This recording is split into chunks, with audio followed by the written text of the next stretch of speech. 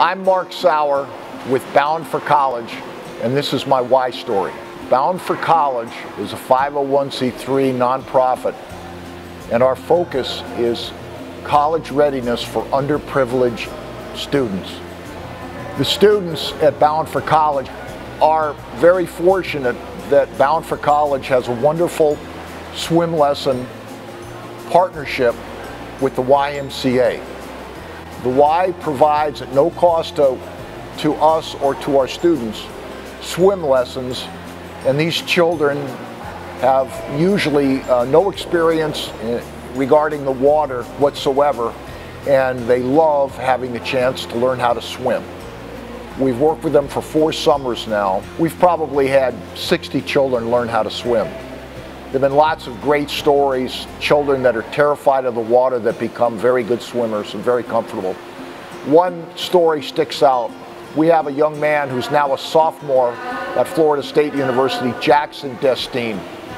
He did not know anything about swimming when we got a hold of him as a high school junior.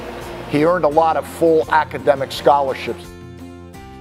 He comes from very serious poverty. But Jackson learned how to swim a length in a pool in half of his first lesson. He's a very good athlete. He was the captain of his wrestling team at Atlantic High School. And he learned how to swim a length of a pool in 10 minutes. And I will never forget how fast he swam his first length and how happy he was. And he is just an extraordinary student, extraordinary young man and uh, he's doing well at Florida State University. He's an A student there. On behalf of Bound for College and our students who have learned how to swim and our students that will learn how to swim, I want to thank the YMCA and its donors for this swim instruction program.